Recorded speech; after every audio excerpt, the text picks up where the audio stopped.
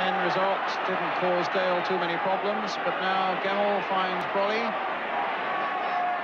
Barton, crossed in once more, missed by Wilson. Can Empson keep it in?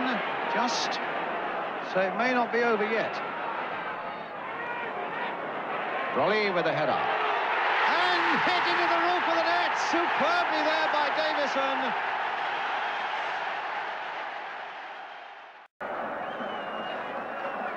Looks as if they may not need to win, but they'd love to and finish the season in style.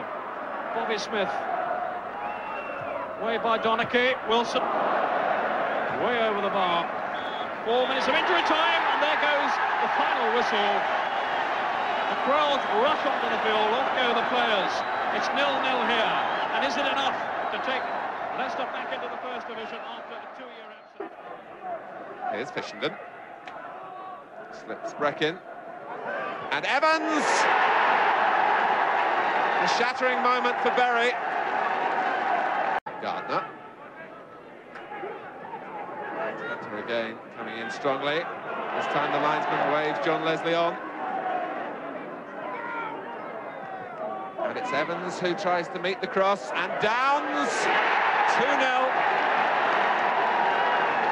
The linesman, he was really in an offside position. And scores!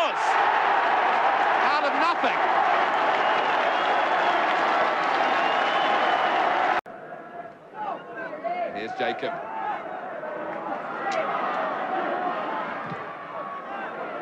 He stay on his feet as well as Thomas did.